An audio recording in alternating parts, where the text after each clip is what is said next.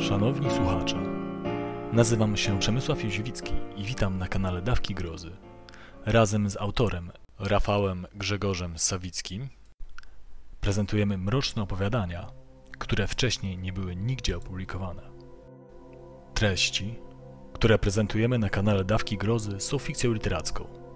Są przeznaczone dla ludzi o mocnych nerwach, a czasami mocnym żołądku. Niektóre odcinki będą straszyć klimatem i aurą tajemniczości, a niektóre będą epatować wulgarną przemocą i gore. Zostaliście ostrzeżeni i słuchacie na własną odpowiedzialność. Rezydent domu numer 5 Historia, którą zamierzam opowiedzieć, jest tak niezwykła, że sam nie do końca wiem, czy wydarzyła się naprawdę. Z jednej strony moje wspomnienia są wciąż żywe, z drugiej miałem wtedy tylko 9 lat. Może dziecięca wyobraźnia przeinaczyła niektóre szczegóły, a upływający czas dołożył swoje trzy grosze. Moja siostra, która również była świadkiem tamtego zdarzenia, wcale nie jest pomocna w oddzieleniu prawdy od fikcji. Mimo, że oboje jesteśmy już dorośli, Dorota unika tego tematu jak ognia. Nie pomaga fakt, że widujemy się tylko dwa razy do roku podczas świąt Bożego Narodzenia i Wielkiej Nocy. Nigdy częściej. Na uroczystości rodzinne, takie jak wesela i chrzciny, moja siostra zwyczajnie nie uczęszcza. Ale wracając do opowieści, wydarzyła się 20 lat temu, podczas jednej z wizyt u dziadków.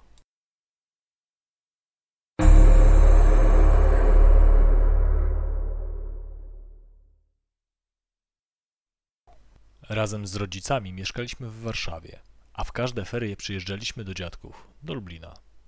Mama nie lubiła tych wycieczek, ale tato, który wywodził się właśnie z Lublina, zawsze stawiał na swoim. Ja i Dorota nie przepadaliśmy za podróżami samochodem, ale uwielbialiśmy dom dziadków. Znajdował się przy ulicy Wójtowicza, nieco na obrzeżach miasta. Budynek miał dwa piętra i z zewnątrz wyglądał raczej nieciekawie ale w środku było mnóstwo różnych pokoi i ciekawych sprzętów. Babcia świetnie gotowała, natomiast dziadek kolekcjonował różne rzeczy. Zawsze nas czymś zaskakiwał. Pewnego razu pokazał nam swoją kolekcję łusek po pociskach artyleryjskich. Kiedy indziej dał nam popatrzeć przez teleskop na księżyc.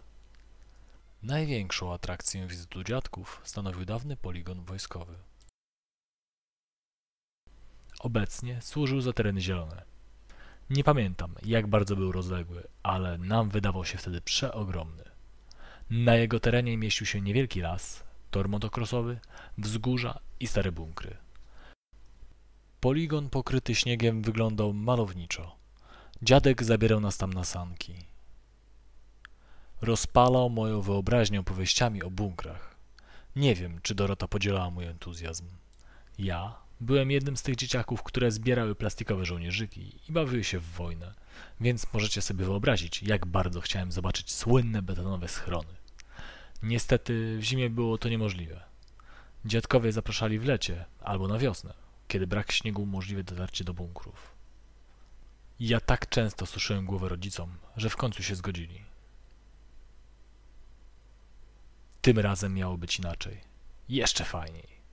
A to dlatego, że po raz pierwszy mieliśmy nocować u dziadków bez rodziców. Nadszedł czerwiec. Ojciec odwiózł nas do Lublina w środę wieczorem, a sam wrócił do Warszawy. Miał nas odebrać dopiero w niedzielę. Tak się złożyło, że w ten czwartek wypadało Boże Ciało, więc nie musieliśmy iść do szkoły. Dziadkowie nas rozpieszczali i pozwalali na znacznie więcej niż tata i mama. Po pierwsze, Mogliśmy się bawić nie tylko w ogródku przed domem, ale i na ulicy. Rodzice nigdy by nas tam nie wypuścili. I to pomimo, że stał tam znak drogowy strefa zamieszkania. Starsze dzieciaki regularnie grywały w piłkę na drodze, a jedyne samochody, które tamtędy jeździły, należały do mieszkańców. Wyjście poza teren ogródka było dla mnie i Doroty jak odkrywanie nowego świata. Niestety brakowało dzieci w moim wieku, więc musiałem zawsze bawić się z siostrą. Bywało różnie. Czasem mieliśmy wspólne pomysły na gry i zabawy, ale niekiedy nie mogliśmy się dogadać. Oczywiście dziadkowie narzucili nam pewne zasady. Po pierwsze, nie mogliśmy wychodzić za zakręt. Pewnie chodziło o to, żeby babcia siedząc na balkonie mogła nas mieć na oku. Po drugie, mieliśmy nie wchodzić na posesję sąsiadów. Byliśmy w stanie zaakceptować te ograniczenia, a przynajmniej tak nam się wydawało. Pogoda dopisywała, więc coraz chętniej bawiliśmy się na ulicy. To była jedna wąska droga, bez chodnika, z rosnącymi na poboczu drzewami. Po obu stronach znajdowały się domy jednorodzinne.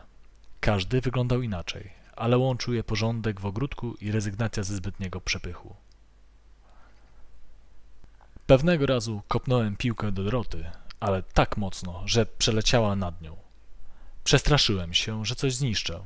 I owszem, futbolówka spadła na przednią szybę zaparkowanego auta.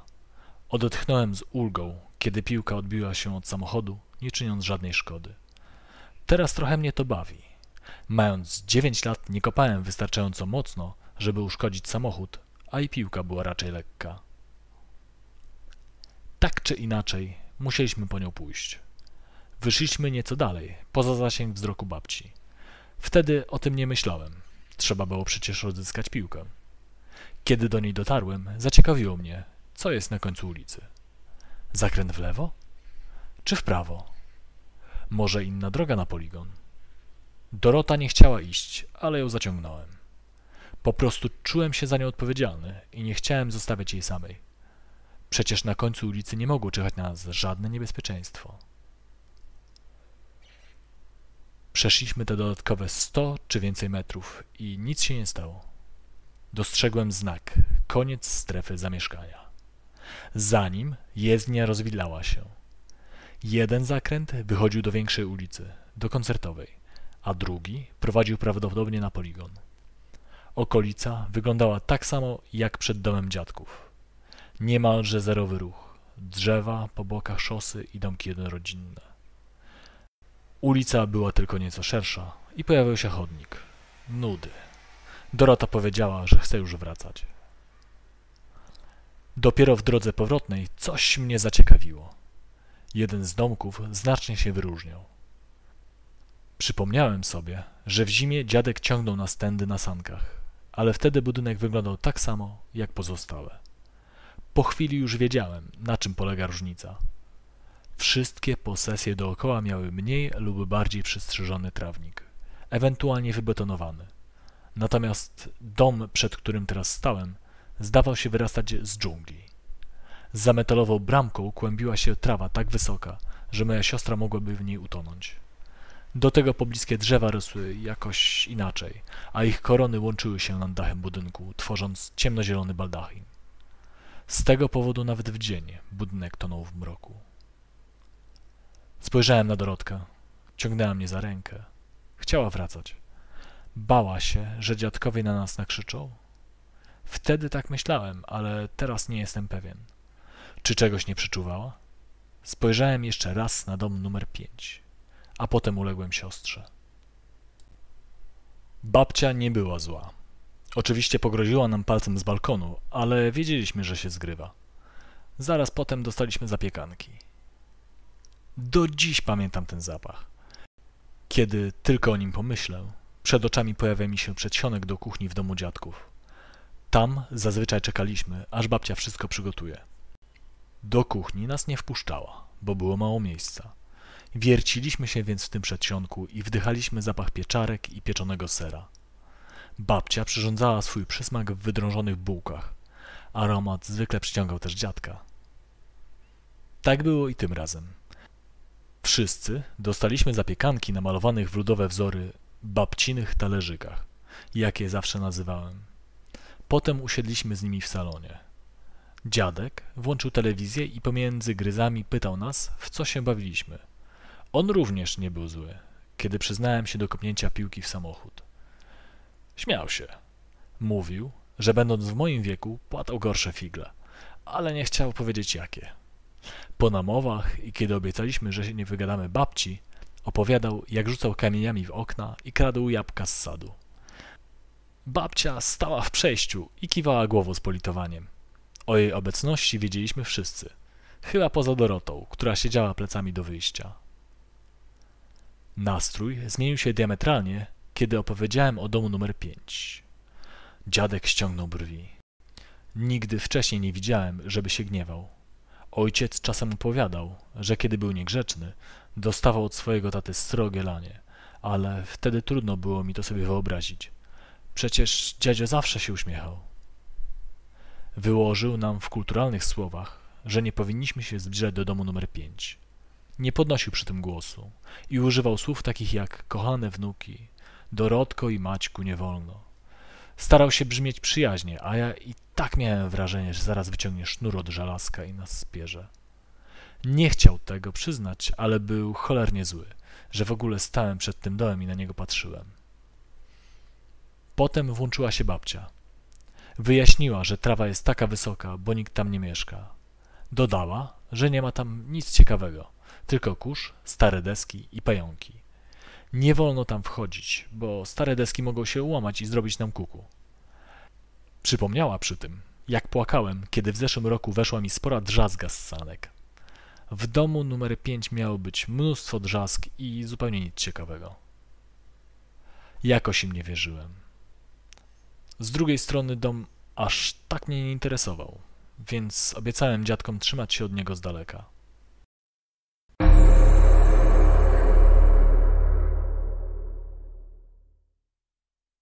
Wieczorem znaleźliśmy jeża. Myszkował obok jednego z drzew przy ulicy.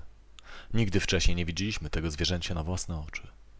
Tylko rysunki w książeczkach. Oczywiście, że go dotknąłem. Delikatnie. Nie pokułem się i nagle uznałem, że jestem najmądrzejszy na świecie. Babcia ostrzegała, żeby nie dotykać jeża, bo ma kolce. Ja dotknąłem i nic mi się nie stało. Wiedziałem, że gdybym zrobił to nieostrożnie, byłoby inaczej. Ale ja wykazałem się wyczuciem. Byłem z siebie dumny. Dziadkowie mieli jakieś zajęcie, więc postanowiłem iść za ciosem. Zamierzałem stanąć przed domem numer 5 i się na niego pogapić. Nie dlatego, żeby zrobić im na złość. Bardziej chciałem zrobić na przekór, a to co innego. Siostra była przeciwna. Uwiesiła się na mojej ręce i prawie mnie przewróciła.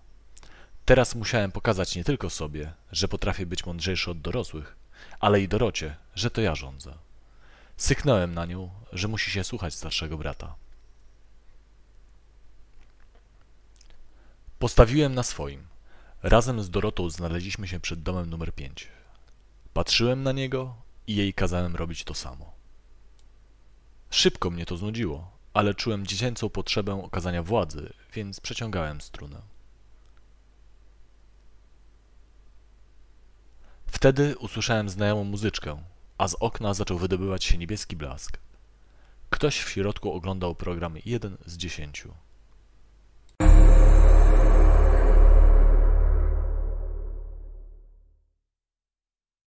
Ciekawość drugoklasisty okazała się silniejsza niż strach przed gniewem dziadków.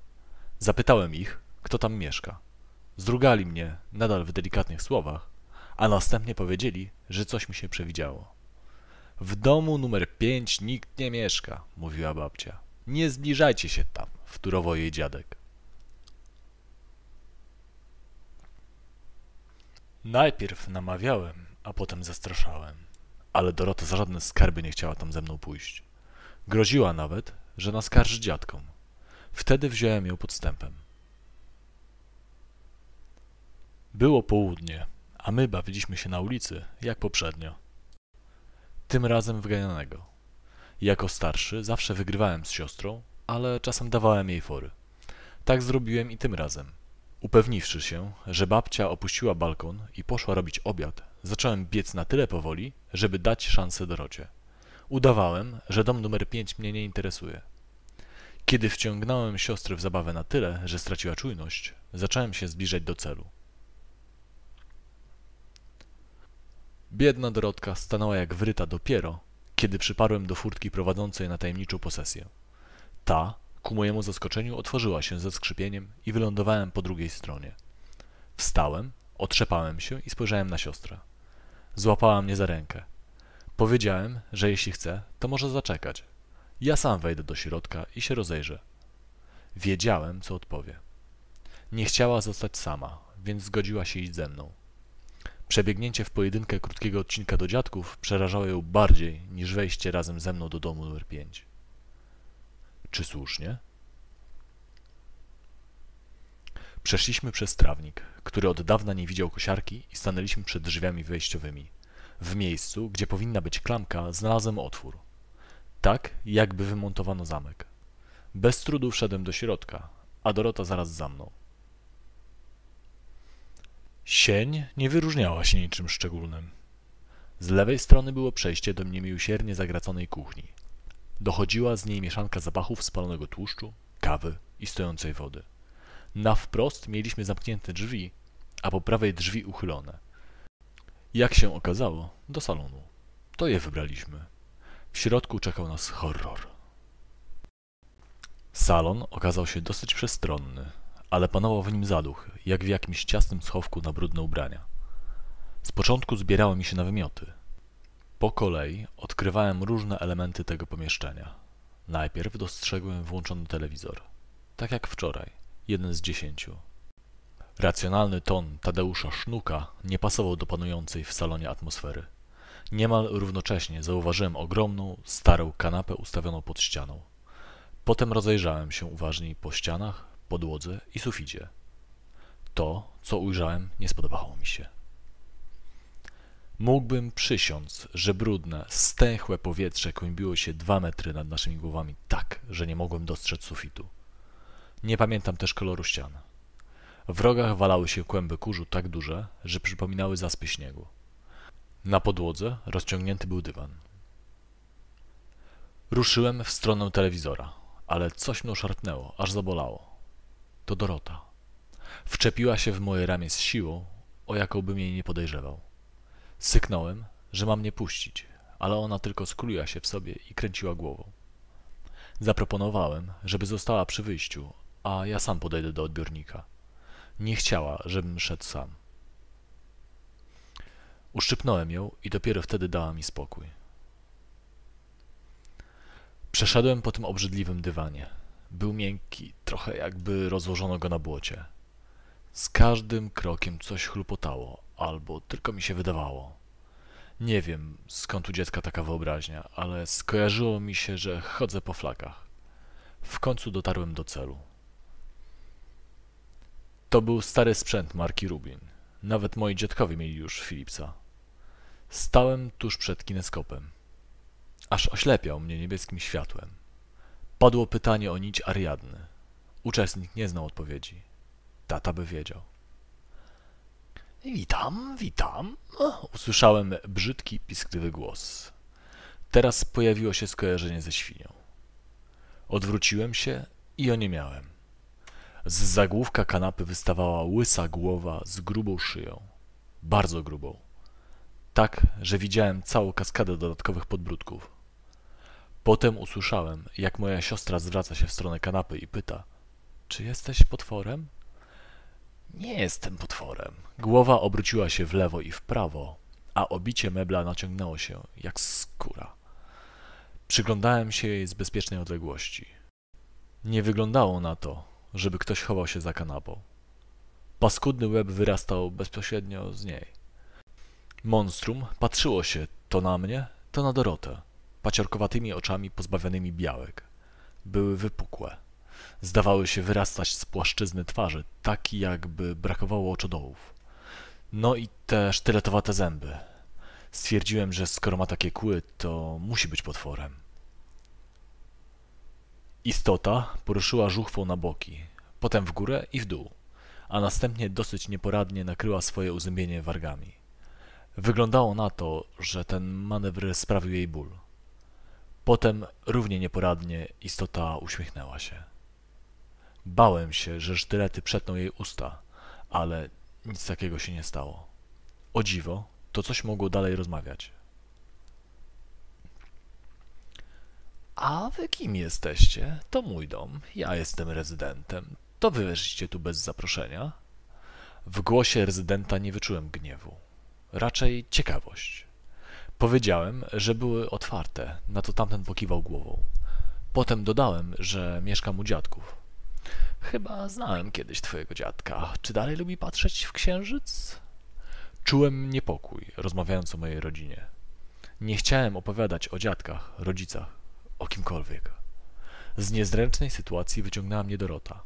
Zapytała rezydenta, w jaki sposób on je, skoro jest przytwierdzony do kanapy i nie może wychodzić po zakupy. Czasem ktoś mnie odwiedza, wtedy łapię go i zjadam, powiedział z niepasującą wesołością. Ostatnio była u mnie para studentów, kiedyś wcześniej listonosz. Da się żyć. W jaki sposób ich łapiesz, skoro jesteś tylko łysą głową na kanapie? To było kolejne pytanie Doroty.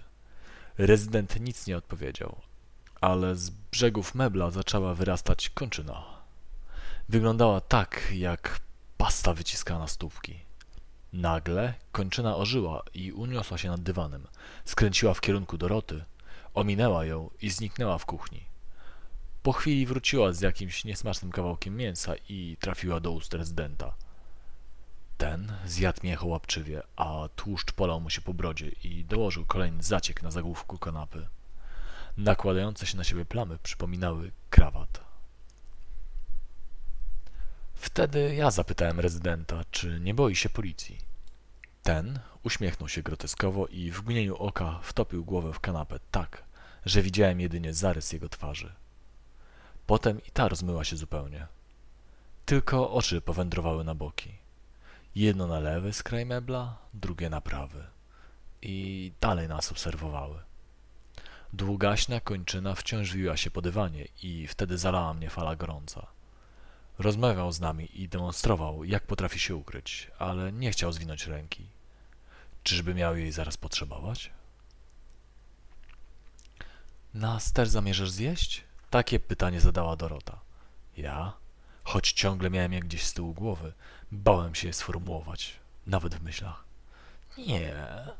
Głowa ponownie wyrosła z kanapy, tym razem w innym miejscu. Zjadam tylko dorosłych, a wy jesteście dziećmi. Jak mogliście mnie o to posądzić? Macie mnie za potwora?